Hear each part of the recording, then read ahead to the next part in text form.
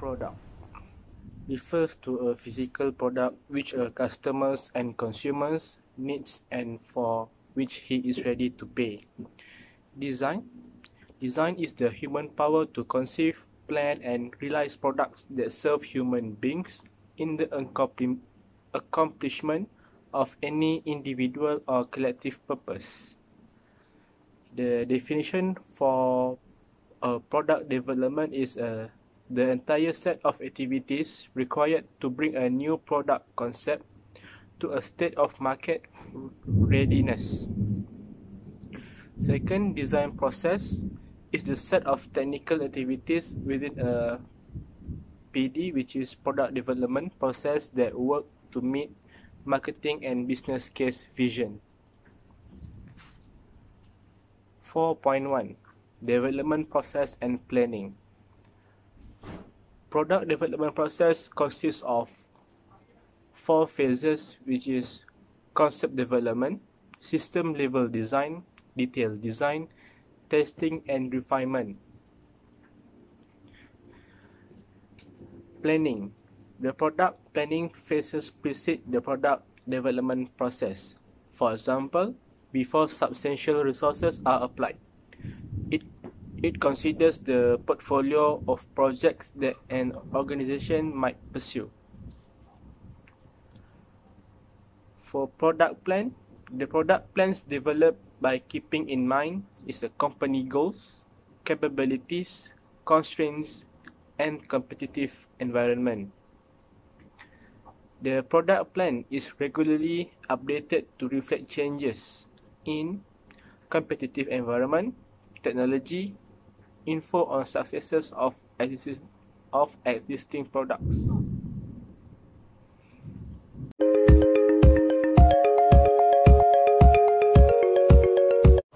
Identifying customer need and quality function deployment. Customer need process. Pertama sekali kita kena menentukan skop apa yang kita nak design produk dan keduanya kita mengumpulkan data-data daripada interview daripada fokus uh, daripada grup yang kita telah bincang dan melakukan pemerhatian terhadap produk yang kita ingin menghasilkan. Seterusnya kita translate data tersebut untuk ke dalam need statement dan selepas itu kita mengorganiskan uh, customer need tersebut kepada dalam ke dalam jadualnya matrix. Seterusnya kita menstabilkan design yang kita telah hasilkan seperti design yang lebih banyak untuk menghasilkan produk yang terbaik dan akhir sekali kita reflect the purpose of continuous improvement. Contohnya dia produk yang kita hasilkan itu berkaitan dengan keperluan pengguna seharian. Jadi quality deployment function dia bermakna kualiti sesuatu produk yang untuk kegunaan harian kepada pengguna. Mula yang pertama sekali kita mengutip Uh, customer ni mengutip semua data-data yang keperluan menjadi keperluan pengguna kepada kehidupan seharian mereka. Seterusnya apabila data tu semua dikutip kita membuang apa data data-data yang tidak uh, diperlukan dan dia ada proses yang selanjutnya lagi sehingga kepada matrix table relationship jadual. Dan jadual tersebut boleh dilihat pada slide seterusnya. Ini adalah jadual relationship matrix yang yang kolom atas kita letak product design needs uh, contohnya uh, jenis-jenis produk yang kita telah buat yang yang kita telah sketch yang barisan ke bawahnya kita masukkan keperluan pengguna iaitu customer ni seperti fungsi-fungsinya terhadap produk yang kita design tadi. Jadi uh, hubungan antara kolom atas dengan baris diri ni kita akan tanda dengan simbol-simbol yang ada di tepi jadual jadual tersebut. Jadi uh, tip tanda-tanda tersebut akan berbeza ada tiga yang dot yang putih uh, me, mewakili uh, perbezaan yang ketara iaitu uh, pengguna ramai yang yang berminat dengan satu produk kita yang telah design. Kalau dotnya hitam tak ada bintik tu. Jadi produk tu mungkin pengguna akan pengguna mungkin meminat sedikit. Dan yang paling lemah sekali tanda tiga segi seperti dalam simbol kat tepi tu pengguna mungkin tak mungkin tak berminat jadi inilah jadual relationship matrix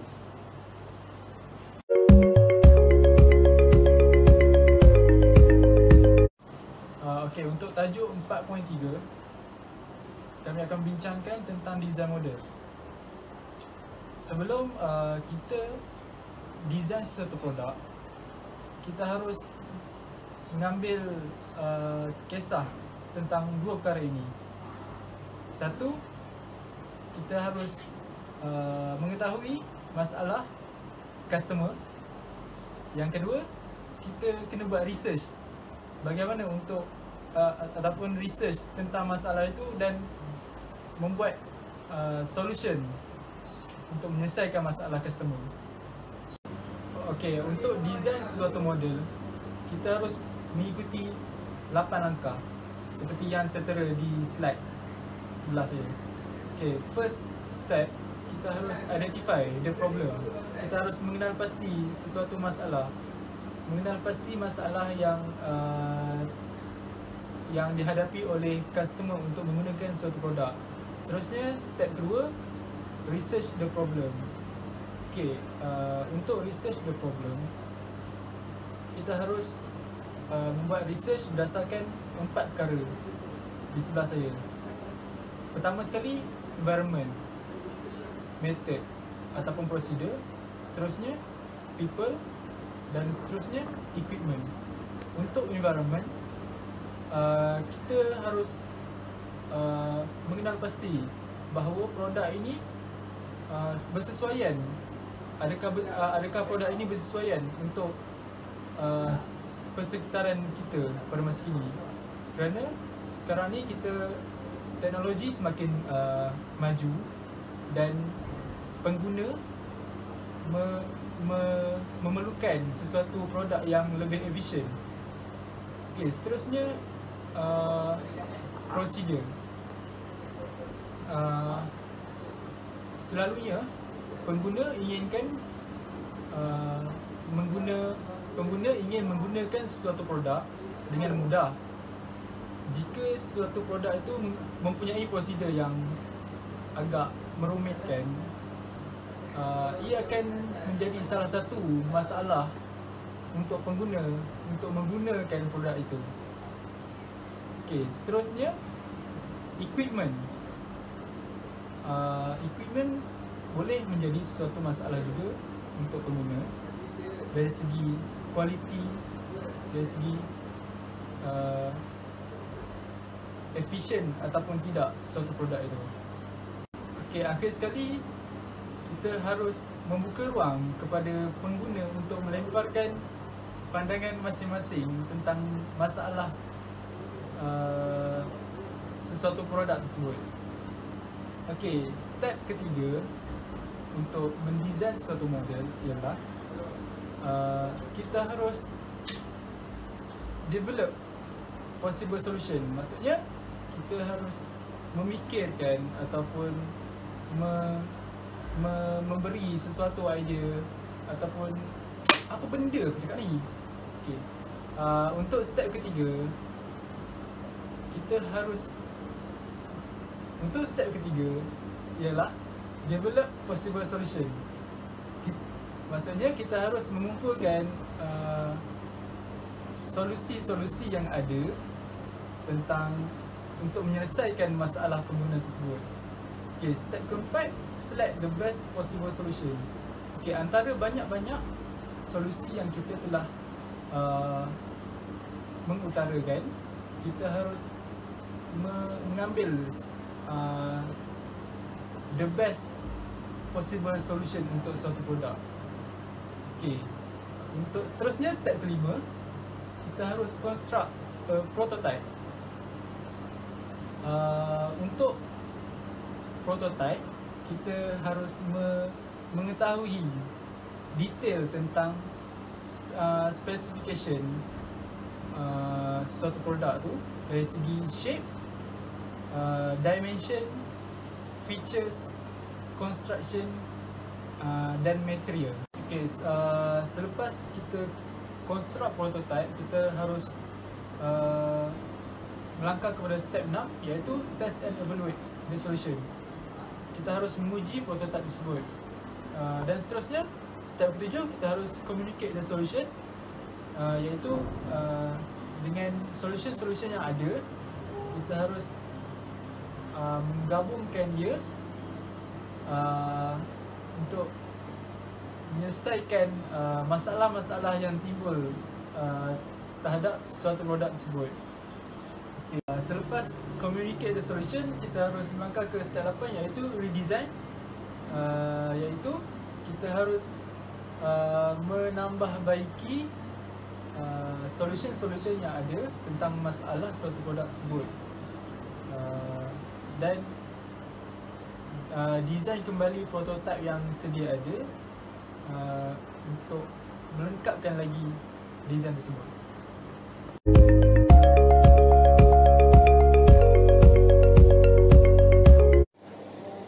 Seterusnya dalam 4.4 ialah design specification and concept generation. Dalam design specification, uh, blueprint ataupun plan diperlukan bagi memuaskan keperluan yang dinyatakan dalam spesifikasi yang diperlukan. Seterusnya, kita perlu menyatakan bagaimana spesifikasi yang dihasilkan dapat memenuhi keperluan yang dinyatakan. Berikut merupakan graf design specification and concept generation yang perlu dipatuhi. Seterusnya ialah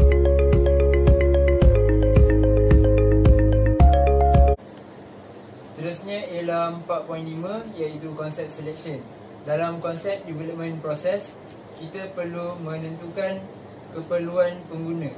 Yang kedua, kita perlu menentukan target spesifikasi produk yang akan dihasilkan. Yang ketiga, kita perlu menghasilkan konsep uh, produk tersebut. Yang keempat, kita perlu memilih konsep yang sesuai dengan produk yang akan dihasilkan. Yang kelima, kita perlu menguji konsep produk tersebut. Yang keenam, kita perlu menentukan spesifikasi akhir bagi produk yang akan dihasilkan. Dalam target spesifikasi adalah berdasarkan penanda aras dan keperluan pengguna. Seterusnya dalam spesifikasi akhir adalah berdasarkan uh, konsep yang telah dipilih, model dan hasil uji kaji uh, sesuatu konsep tersebut. Berikut merupakan contoh jadual kriteria of concept selection.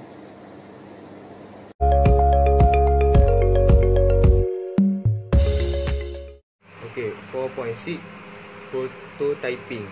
a limit representation of a design that allow user to interact with it and to explore its suitability.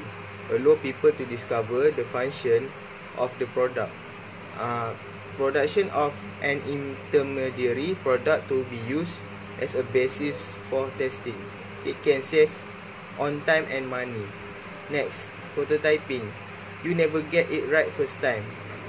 If at first you don't succeed, you can redesign the prototyping and evaluate it. If it's okay, you can proceed the prototype into a real model. Next, what is prototype? A prototype is an, an early sample or model of a product built to test. A process, a prototype is generally used to evaluate a new design, to adjust precision by system analysis and user. Goal of prototyping. Prototyping enables evaluation happen throughout, exploring requirements like market, market analysis, participation, participatory design, choosing among alternative like risky or critical feature, empirical usability testing as early as possible, try out ideas with target user. How to prototype? Build a prototype of a basic functionality, especially the interface. Test the prototype, which uncover design error. Correct the error. Repeat until you have a clean design. Prototyping is a major tool for improving usability, heavily used in industry. What is advantage and disadvantage? Prototype. Low fidelity prototype. The advantage is low development cost, evaluate multiple design concept. The disadvantage, limited error checking, navigational and flow flow limitation. High fidelity prototype. The advantage is fully interactive, look and feel of final product, clearly defined navigational scheme. The disadvantage is more expensive to develop time consuming to build, developers are re, real reluctant to change something they have craft for hour. That's all. Thank you.